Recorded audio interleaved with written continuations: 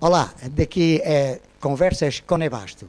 Hoje eh, tenho o prazer de ter comigo uma pintora vianense, Ana Rego, que já é conhecida a nível do país e do, e do estrangeiro, eh, que vai fazer uma exposição das suas obras, que estão espalhadas aqui neste bonito lugar, que é o Hospital Velho, aqui na, junto à Praça da Erva, no turismo, e que eu vou, eh, como não podia deixar de ser, falar um pouquinho com Ana Rego, que, que é a pessoa mais uh, muito simpática e de uma singeleza extraordinária.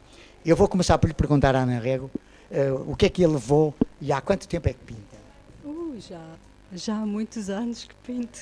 Muitos anos? Quantos já, anos? desde os 15 anos. Desde os 15 anos. Não, não é assim tanto como isso. Mas, uh, há, mais de, há mais de 20, há mais de 25 anos. 25 anos.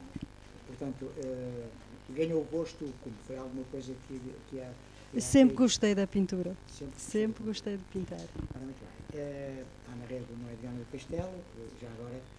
Sou de Ponte de Lima. Ponte de Lima. Por isso, a razão porque tem aqui muitos quadros uh, relacionados com Ponte de Lima.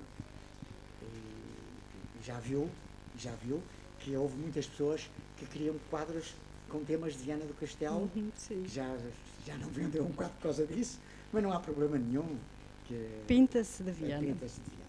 Pois. Na próxima exposição vais tratar disso, não é? Sim, sim. Muito bem. Uh, quantas exposições é que já. Esta, esta já é a décima segunda. Décima segunda exposição. Sim. E onde é que teve mais êxito? Em que localidade é que teve mais êxito? Em Ponta de Lima. Em Ponte de Lima. Na minha terra. Porque eram temas de Ponte de, de Lima. Ponte de Lima, sim. Muito bem, muito bem. Uh, portanto, uh, a senhora é uma dona de casa, o seu marido trabalha, sim, sim, tem sim. filhos. E como é, que, como, é que se, como é que se arranja para ter tempo para tudo isso? Isto, a pintura é uma paixão e com uma paixão há sempre, há sempre tempo para, para, para pintar. Para... Claro, os, os seus temas, os temas que, que pinta, como eu já reparei, é, é o realismo e o... Uh, um bocadinho abstrato. Um bocadinho abstrato. Sim.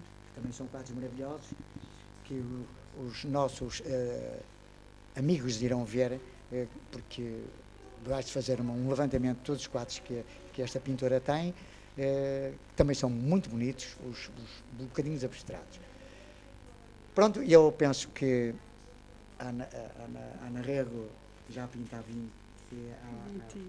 Há 20, 20 anos, vai continuar a pintar. Sim, sim. e hoje uh, vai montar, vai se amanhã, dia 12, será, portanto, vai ser, o, vai ser a inauguração, inauguração da, da, da, abertura exposição. Da, exposição e que isto provavelmente amanhã já vai para o ar, já se vai ver na internet e, portanto, eh, só da minha parte, André Rego, desejo-lhe muitas felicidades, nunca perca o ímpeto de pintar, porque pintar, eh, eu também sei como é, eh, dá muita vida às pessoas e é onde a gente se concentra mais, não é verdade? Sim.